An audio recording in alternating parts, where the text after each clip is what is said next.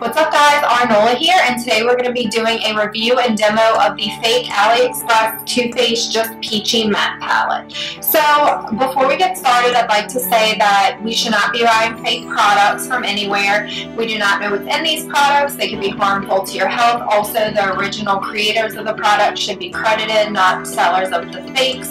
And with that being said, this is for entertainment purposes only and could actually help you detect a fake if you were to get one and you are unsure. So with that being said, let's jump into it. Alright, so getting into the product, the outside of the packaging looks really, really nice. It almost looks like it would pull off for a real one, but I can tell you now, opening it up and looking at the actual product, it's not. So when you take this out, it looks really cute and everything, but this is cardboard on the front, this is plastic on the back, so it's really chinky and chinchy.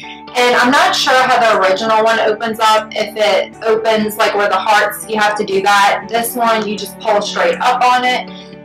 The perk to this palette is they give you a large mirror. That's always nice. Mine did not come broken. Um, I know sometimes when you order things on AliExpress, they go through hell and high water to get here. So it's they get cracked, broken, everything else. My shadows also came intact, which I was happy about. Now, talking about color, I looked at many pictures on um, not AliExpress, on Tarte's website, and these colors are dang close, except for like maybe like these, I think in this area, like these three are kind of off, and then these are pretty close actually, and then these might be a little off, but not too bad to be honest. So now we'll go ahead and get in the swatches. Um, first one is Peach Meringue.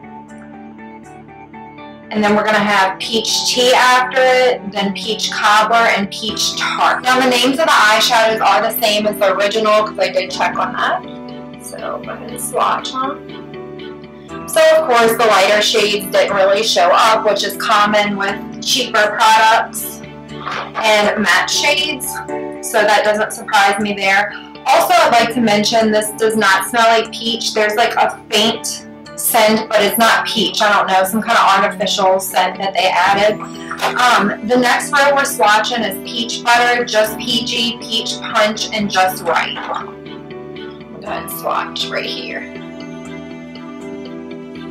So these came out pretty good. Of course, this one here is going to come out white because it is a lighter matte. Again, not surprised. And they are kind of powdery, I'm not going to lie.